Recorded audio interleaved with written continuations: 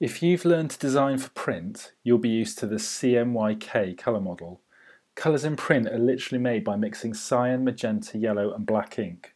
CMYK doesn't work for screen-based design because you're mixing colours with light, not ink.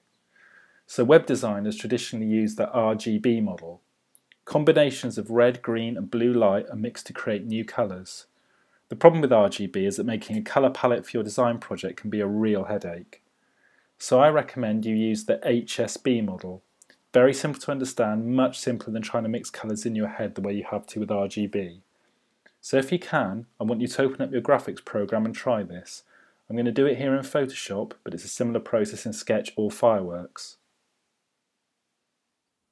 I'm going to click on this little guy here to open the colour picker window. So firstly, H, or hue, is the tonal value of your colour. So check out how the colour changes as I move the slider. Secondly, S or saturation is how vibrant or how muted your colours are. And thirdly, brightness is how bright or how dark your colours are.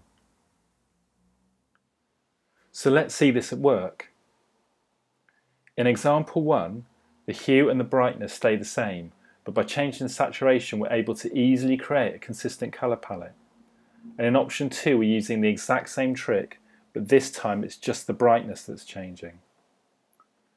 And here's how we could use that palette. We're using the darker shades here to indicate the top movie is selected, but the whole interface is made up from just one colour or hue, so it looks consistent and your eye isn't confused by lots of competing visual elements. It's one of the secrets to producing really consistent and usable interface and interaction design.